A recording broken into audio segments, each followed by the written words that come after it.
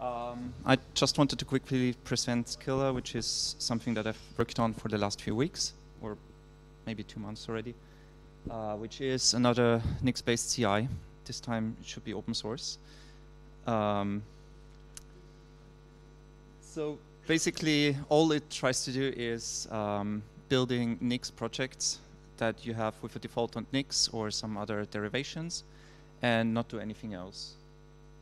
Um, the reason why I'm doing this is basically because I tried to set up Hydra and make it work the way that I would like to have it work, and also introduce other people that wanted to use uh, CI for Nix, and they just couldn't understand a thing about the configuration of Hydra. Um, so instead of having uh, CI that is hard to configure for a lot of people, I wanted to have something better. So the problem with Hydra that I see is that you have this huge CI instance and you try to configure it and you have a lot of people that want to configure it. But uh, if you have, I don't know, 400 people that each have a project, it's a bit difficult to coordinate.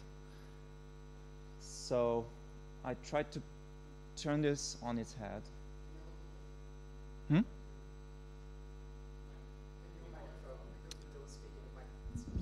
Okay, let's do this.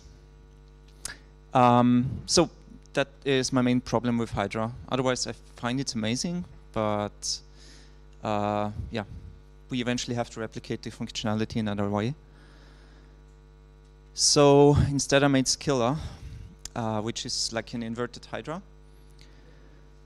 The configuration comes from the repositories, and it's basically pushed alongside with the push hooks that you can set up in GitLab or GitHub. And every time you make a PR or make a commit to a PR, it runs the CI for you. And then it uh, pushes the build results to your cache. Um, so in the best case, all you need to have is one derivation. And that's your whole setup for the CI, except for setting up the hook. Um, for my use case, it's basically because we have in our company, I don't know, 350 teams that each want to have their own CI setup. And uh, trying to get them to use uh, something like Hydra was too hard. Um, what else is there?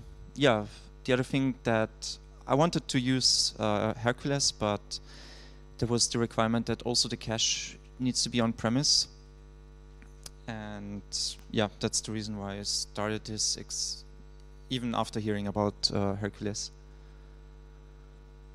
Uh, that's an example of the CI-nix file that you can write. Um, so basically all the derivations that are at top level will be evaluated and then uh, built and then pushed to the cache. And that's pretty much all it does, except for updating your GitHub status with any errors that happen. And I also built a UI with uh, display for the logs and listing of the projects and builds and stuff like that. Um, yeah, so the backend is implemented using uh, Go and PostgreSQL. The queue implementation is also in PostgreSQL, which might be a bit unconventional, but it works well for me. Um, yeah, it's uh, designed to run in a Docker container. So you can have as many instances of Scylla running as you want, and each can have their own setup and their own database, and uh, they can run in parallel. Um, yeah, the builders themselves have to run on a more conventional Nix setup because I want to have sandboxes. And yeah, that getting that to work in Docker was pretty much impossible except when you have a privileged container, which is not something I can have on our Kubernetes cluster. Um, okay, so that's pretty much it. Uh, you can go to this URL to check out the source. If you actually want to try it, uh, you might reach me on IRC with my nickname manveru.